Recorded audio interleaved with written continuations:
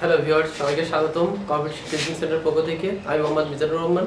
আজকে তোমাদের HSC, ICT, digital ডিভাইসের সবথেকে গুরুত্বপূর্ণ টপিকস ডিকোডের বিষয়ে আলোচনা করব। দেখো ডিকোডার ফার্স্ট আমাদের দেখতে হবে ডিকোডার কি।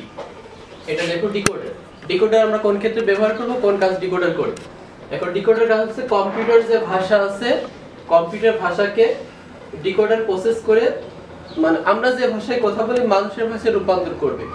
এখানে কম্পিউটার ভাষায় কি ইনপুট দেওয়া যেতে পারে? ওইটা ডিকোডার প্রসেস করবে আউটপুট হিসেবে মানুষের ভাষা প্রদর্শন করবে। তো বলা যায় যে কম্পিউটার ভাষাকে মানুষের ভাষায় রূপান্তর প্রক্রিয়াকে ডিকোডার বলা হয়। এখন তোমাদের পরীক্ষায় পড়তে থাকবে কীরকম? এই যে একটু সিটু ইনপুট হচ্ছে আউটপুট ডি জিরো থেকে ডি থ্রি পর্যন্ত। ইনপুট দুইটা আউটপুট চারটা ডি জিরো থেকে ডি থ্রি পর্যন্ত। এই চিত্রকম বা চিত্র যে কোনো একটা থাকতে পারে, এটা একটা ডিকোডের বলক ডায়াগ্রাম বলা হয়।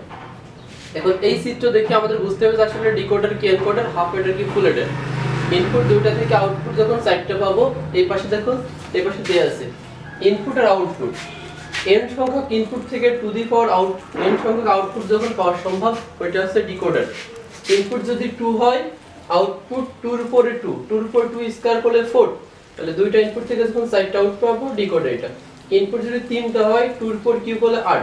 আটটা আউটপুট হবে ডিকোডার ইনপুট যদি ফোর হয় output two the power four ষোলো। ইনপুট যদি ফাইভ হয় output two the power five বত্রিশ। এগুলো হচ্ছে এমসিকিউ ক্ষেত্রে তোমাদের লাগবে, এগুলো বুঝতে হবে। এমসিকিউ এরকম আসতে পারে যে ইনপুট যদি তিনটা হয় আউটপুট কত হবে ডিকোডারে আটটা হবে। এখন আমাদের যে চিত্র আছে, এটা দুইটা ইনপুট থেকে চারটা আউটপুট পাইছি সো এটা বলা যেতে পারে যে এই অঙ্কটার নাম টু টু ফোর ডিকোডার এখন এইটার পরীক্ষায় বলতে পারে যে এই চিত্রের সত্যক আঁকো বা লজিকে যখন সত্যক সারি বলতে মানে বলবে, তখন আমাদের এই চিত্রটা আঁকতে হবে, এই সত্যক সারি।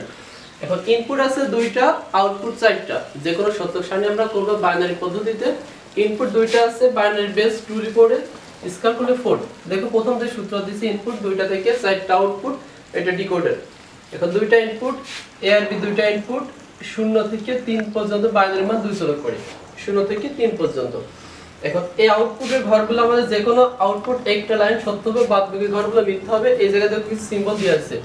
মানে ডি জিরো ঘরে ওয়ান ডি ওয়ানে ওয়ান ডি টুতে ওয়ান ডি থ্রিতে ওয়ান প্রত্যেক এক ঘর পর পর ওয়ান এই ওয়ানগুলো কেন দিচ্ছে এখন দেখো? দুইটা জিরোর মান কি? দুইটা জিরোর মান জিরো সো এই আউটপুট লাইনে যে ঘরটা ডি জিরো ঘর, সেই ঘরটা সত্য হবে বাদ বাকি ঘরগুলো সব মিথ্যা জিরো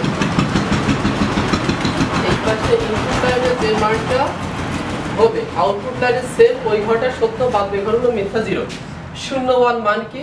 ওয়ান তো ডি ওয়ানের ঘরে ওয়ান দাও, বাদ বাকি ঘরগুলো মিথ্যা জিরো এরপর দেখো ওয়ান জিরোর মান টু সো ডি টুর ঘরে ওয়ান দাও, বাদ বাকি ঘর মিথ্যা সবগুলো শূন্য। এরপর দেখো, দুইটা ওয়ানের মান কি? থ্রি সো এই আউটপুট লাইনে ডি থ্রির ঘরে ওয়ান দাও, বাদ বাকি সব মিথ্যা জিরো সো এই পাশে ইনপুট লাইনে যেটার মান হবে সেম আউটপুট লাইনে ওই রতে ওই ঘরটা সত্য বাদ বাকি ঘরগুলো মিথ্যা। আর এটাও যদি না বোঝো ফার্স্টে ডি জিরো থেকে এক ঘর পর পর ওয়ান দিবা, বাদ এই জায়গায় আউটপুট লাইনে যতগুলো ঘর আছে সব মিথ্যা জিরো এখন এই জায়গায় সমীকরণ দেখো। সমীকরণ আউটপুট আছে D zero D one D two D three D জিরোর ফার্স্টের মানটা, এই ওয়ানটা পাইছি আমরা কি থেকে? এর মান শূন্য বির মান শূন্য। সো ইনপুট লাইনে কোন একটা মান যখন শূন্য থাকবে ওটা নেগেটিভ ধরা হয়, ওই মানটাকে বারবার নট দ্বারা উল্লেখ করতে হবে। এর মান শূন্য বির মান শূন্য, তো এ বার বি বার। এরপর এই ওয়ানটা পাইছি দেখো এর মান শূন্য বির মান ওয়ান তো এর মান শূন্য মানে নেগেটিভ তো এ বার বি দেখো এ বার বি এরপরে মানটা এ এর মান ওয়ান বির মান শূন্য, তো বির মানটা নেগেটিভ এ বি বার। লাস্টের মান দেখো, দুইটা মানই ওয়ান আছে, তো দুইটা মানই সত্য সো জায়গায় কোনো বার হবে না নট হবে না এ বি এখন এটা বুঝতে হবে যে ডিকোডার অঙ্ক আমরা গুণের ক্ষেত্রে ব্যবহার করে ডিকোডার গুণের ক্ষেত্রে ব্যবহার করে সব মানে এই জায়গায় যতগুলো গেট আছে, সবগুলো অ্যান্ড গেট আছে। তো এটা হচ্ছে সমীকরণ, এই সত্য সারণীর আমাদের যখন বলবে যে লজিক গেট আঁকবো তখন এই লজিক গেট আঁকতে হবে। এখন এই জায়গায় ইনপুট কয়টা আছে? এ আর বি ইনপুট দুইটা এ থেকে নিচ্ছি বি থেকে দুইটা ইনপুট নিচ্ছি এ আর বি নট আছে সিঙ্গেল করে ফার্স্টেই নট করেছি আমরা।